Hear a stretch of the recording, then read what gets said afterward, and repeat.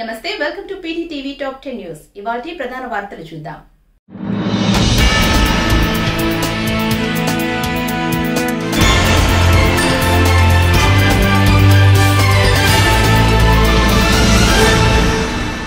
గత ప్రభుత్వ హయాంలో విజయవాడలో కూల్చివేసిన తొమ్మిది ఆలయాల పునర్నిర్మాణ కార్యక్రమాలకు సంబంధించి ముఖ్యమంత్రి వైఎస్ జగన్మోహన్ రెడ్డి భూమి పూజ చేశారు. కృష్ణా నది ఒడ్డున సీతమ్మ పాదాల వద్ద ఆలయ పునర్నిర్మాణ పనులకు ఆయన శంకుస్థాపన చేశారు. ఇంద్రకీలాద్రి వద్ద అభివృద్ధి పనులకు శ్రీకారం చుట్టారు. అనంతరం కనకదుర్గమ్మ అమ్మవారిని దర్శించుకున్నారు. అలాగే రాష్ట్ర వ్యాప్తంగా మొత్తం నలభై ఆలయాలను పునర్నిర్మించే కార్యక్రమం జగన్ ప్రభుత్వం మొదలుపెట్టింది. హిందుత్వం పేరుతో జగన్ ప్రభుత్వంపై వ్యతిరేకత తీసుకురావాలని ప్రయత్నిస్తున్న వారికి ఈ కార్యక్రమం చెంటుపెట్టు లాంటిదని వైసీపీ నేతలు చెబుతున్నారు. విజయవాడ ఇంద్రకీలాద్రిపై ఉన్న దుర్గమ్మవారిని దర్శించుకున్నారు సీఎం జగన్.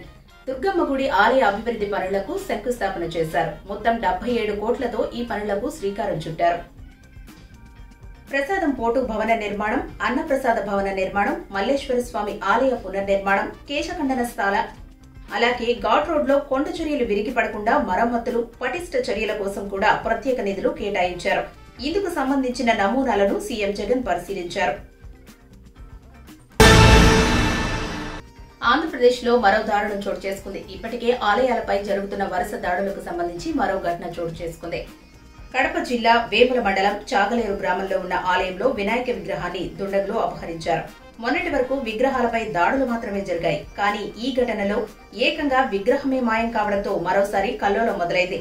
ఈ సంఘటనకు సంబంధించి పోలీసులు విచారణ మొదలుపెట్టారు. ఆలయ పరిసరాల్లో ఉన్న సీసీ ఫుటేజీని పరిశీలిస్తున్నారు. పురాతనమైన దేవాలయం. ప్రతిష్ట చేసిన విగ్రహం కూడా కాదు.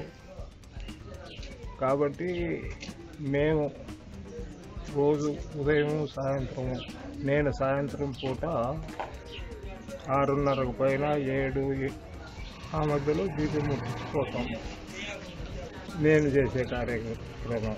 ఇంకొక ఆయన ఉదయం పూట దీపం పెడతాడు. అది పరిస్థితి. మేము పది గంటల వరకు కూడా ఇక్కడనే ఉంటాం. ఉన్నా కూడా తర్వాత జరిగిపోయింది. ఏపీ ప్రభుత్వ తీరును తప్పుపట్టారు. BJP MP GVL Narasimha Rao. BJP party నేతలు రామతీర్థం వెళితే అడ్డుకోవడం సమంజసం కాదన్నారు. బీజేపీ పార్టీ కన్నెర చేస్తే ప్రాంతీయ పార్టీలన్నీ కనిపించకుండా పోతాయన్నారు జీవీఎల్ నరసింహారావు. ఏపీలో జరుగుతున్న దారుణాలు ఎప్పటికప్పుడు బీజేపీ జాతీయ నాయకులతో చెబుతున్నామని తమను ఉద్దేశపూర్వకంగా అడ్డుకొని అరెస్టు చేసిన విషయాలు అమిత్ షాతో కూడా చర్చించామని జీవీఎల్ తెలిపారు. సంబంధించినటువంటి మీలాంటి చిన్న ప్రాంతీయ పార్టీ కాదు. బీజేపీ కథం తొక్కితే బీజేపీ శ్రేణులు దేశవ్యాప్తంగా కన్ను తెరిస్తే మీ పార్టీలు భగ్నమైపోతాయి. జాగ్రత్తగా ఉండండి. మరొకసారి వీరికి హెచ్చరిస్తున్నాం. ఇక్కడ వైసీపీ టీడీపీ కుమ్మక్కై వారి హిందూ వ్యతిరేక విధానాలని కొనసాగిస్తూ బీజేపీని ఏదో కిడ్నాప్ కేసులో అరెస్ట్ అయిన మాజీ మంత్రి భూమా అఖిలప్రియ సోదరుడు విఖ్యాత్ రెడ్డి సంచలన వ్యాఖ్యలు చేశాడు. రాజకీయంగా తమను ఇబ్బందులకు గురి చేస్తున్నారని అన్నాడు. భూమా అఖిలప్రియ ఆరోగ్యం బాగోలేకపోయినా తనను ఇబ్బందులకు గురి చేస్తున్నారని ఆయన అన్నారు. తమకు ఏమాత్రం సంబంధం లేని కేసులో అరెస్టు చేశారన్నారు. తమను ఇలా భయపెట్టి ఏం సాధించాలనుకుంటున్నారో చెప్పాలని ఆయన ప్రశ్నించారు. విజయవాడలో మా అక్క జనరల్ సెక్రటరీగా ప్రమాణ స్వీకారం చేసి వస్తునింది. మరి సీసీటీవీ ఫోటేజ్ కూడా అక్కడ ఏం జరిగిందో మొత్తం బయటికి వచ్చింది ఎక్కడ మా అక్క కనిపించిందని ఈరోజు ఇంత కేసులేసి ఇంత దారుణంగా ఆమెను టార్చర్ పెడుతున్నారు. ఏం చేశారు? ఈరోజు మా అక్కకి మామూలుగా హ్యూమానిటీ గ్రౌండ్స్ కింద ఎవరికైనా కోర్టులో హెల్త్ బాగాలేదు అంటే హాస్పిటల్లోకి పంపించే అవకాశం కోర్టు కలిగియాలి. ఈరోజు మా అక్క ఫో నాలుగు సార్లు ఆమెకి సీజర్ వచ్చింది. షీ ఫెయింటెడ్ ఆమెకి ముక్లో she's bleeding from our nose two days నుంచి they haven't been feeding her properly they are mistreating her in the jail కానీ ఇవన్నీ ఎందుకు చేస్తున్నారు అనేది మాకు అర్థం కావట్లా.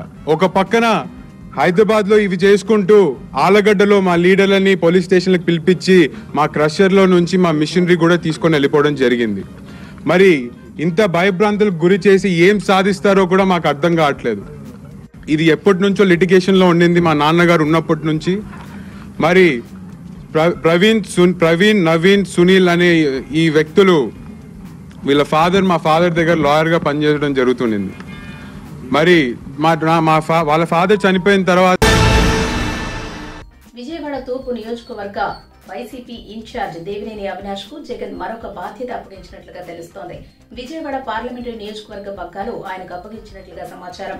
ఈ పార్లమెంటరీ సీటుకు జగన్ గత రెండు ఎన్నికల్లోనూ కమ్మ వర్గం నేతలకే సీట్లు ఇచ్చారు ఇక వచ్చే ఎన్నికల్లోనూ జిల్లాలో రాజకీయంగా డామినేషన్ చూపించే ఈ వర్గాన్ని మరింతగా తన వైపుకు తిప్పుకునే క్రమంలోనే అవినాష్కు విజయవాడ పార్లమెంటరీ జిల్లా పార్టీ పగ్గాలు అప్పగించాలనే యోచనలో జగన్ ఉన్నట్లు తెలుస్తోంది. వాస్తవానికి గత ఎన్నికలకు ముందు నుంచే ఈ పదవి జగన్ కమ్మ వర్గానికి ఇవ్వాలని చూస్తున్నా సరైన నేతలేక వెయిట్ చేస్తూ వచ్చారు. ఇక ఇప్పుడు ఈ పదవికి అవినాష్ అయితే కరెక్ట్ అని స్వయంగా సీఎం జగనే నిర్ణయం తీసుకున్నారట. ఏది ఏమైనా తక్కువ కాలంలోనే అవినాష్ పై జగన్కు భారీగా గురి కుదిరిందన్నది వాస్తవం. రాష్ట్రంలో ఏం జరిగినా ప్రభుత్వం నిమ్మకు నీరెత్తినట్లు వ్యవహరిస్తోందని ఆరోపించారు టీడీపీ నేత పంచమర్తి అనురాధ. దుర్గగుడిలో వెండి విగ్రహాలు మాయమైనా ఇప్పటి వరకు ఎందుకు పట్టించుకోలేదని ప్రశ్నించారామె దేవాలయాలపై చిత్తశుద్ధి ఉందంటూ ప్రభుత్వం చెప్పుకోవడం సిగ్గుచేటని అనురాధ విమర్శించారు. విజయవాడలో కనకదుర్గ అమ్మవారికి సంబంధించిన వెండి సింహాలు పోయిన సెప్టెంబర్లో పోతే వైసీపీ నాయకుడు రోజుకొకడు ఏదో స్టేట్మెంట్ ఇస్తాడు కానీ అసలు అసలు దొంగను పట్టుకోవాలి ఆ రెండు రోజులు మూడు రోజులు ఆలోచిస్తారులే తర్వాత వాళ్ళ దారాలు పోతారులే అని. జగన్ హయాంలో హిందువులకు అడుగడుగునా అవమానాలే జరుగుతున్నాయని ఆరోపించారు పంచమర్తి అనురాధ. అయోధ్యలో రామ మందిర నిర్మాణ కార్యక్రమానికి సంబంధించి ఎందుకు ఎస్బీబీసీ ఛానల్ ప్రసారం చేయలేదో తెలపాలన్నారామే. అలాగే శతమానంభావతి వెబ్సైట్లో పోర్ను వీడియోలు ప్రత్యక్షమైతే ఏం చర్యలు తీసుకున్నారో చెప్పాలన్నారు. హిందువుల పట్ల జగన్ ప్రభుత్వానికి గౌరవం లేదని విమర్శించారు పంచమర్తి అనురాధ. మీకు దేవాలయాల పట్ల హిందూ దేవుళ్ళ పట్ల గౌరవం ఉందా? అదే శతమానం భవతి ప్రోగ్రామ్లో ఎస్విబిసి ఎస్విబిసి ఛానల్కి సంబంధించిన శతమాన భవతి ప్రోగ్రామ్లో పాన్ వెబ్సైట్లో లింకులు కనపడితే ఏం చర్యలు తీసుకున్నారు మీరు? జగన్మోహన్ రెడ్డి గారు ఏమైనా మాట్లాడారా? దీని గురించి ఏమైనా మాట్లాడారా? అదే విధంగా అయోధ్య రాముడు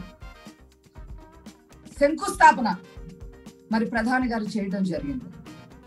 ఆ రోజు ఇళ్ళ స్థలాల కోసం దేవుడు భూములను సైతం కేటాయించిన ఘనత జగన్ ప్రభుత్వానిదే అని విమర్శించారు పంచమర్తి అనురాధ. ఇంటిల్లపాది క్రిస్టియన్స్గా ఉంటూ హిందుత్వాన్ని భుజాన్న వేసుకున్నామని చెబుతున్నారని అన్నారు. ఓట్ల కోసం విభూతి రాసుకుని ప్రజలను జగన్ మాయ చేస్తున్నారని అనురాధ విమర్శించారు.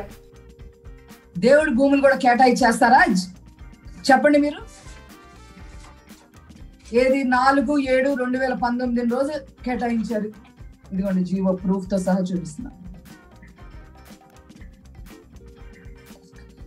జగన్మోహన్ రెడ్డి గారు మెళ్ళలోనేమో సిలువ ఉంటది.